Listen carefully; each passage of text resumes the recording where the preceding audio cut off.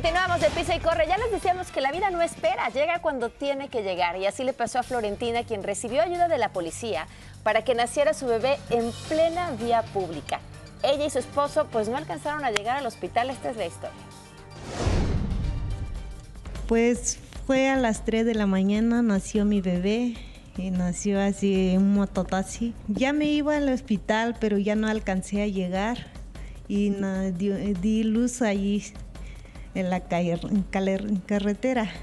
Florentina empezó a sentir contracciones durante la madrugada en Nezahualcóyotl, Estado de México, por lo que a bordo de un mototaxi trató de llegar al hospital, pero su bebé ya no pudo esperar. ir circulando por las calles de mi cuadrante a la altura de calle Santa Mónica y Tlaspana.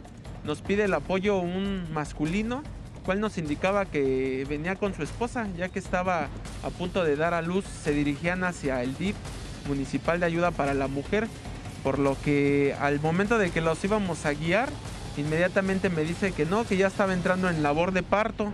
Ante ello, oficiales de seguridad pública de Nezahualcóyotl tuvieron que cambiar. Inmediatamente el papá me dice que ya se le veía la cabecita a la bebé y le pido que me dejara asistirlo para ayudarle. Inmediatamente lo asistimos para que la bebé tuviera la menos complicación posible.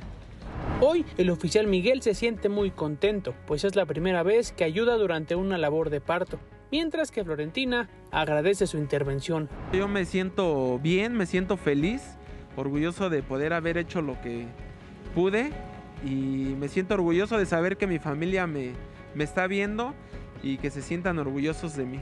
Muchas gracias a ellos, fue ellos que me ayudaron mucho y pues que muchas gracias por ellos. Estoy bien y mi bebé todo bien.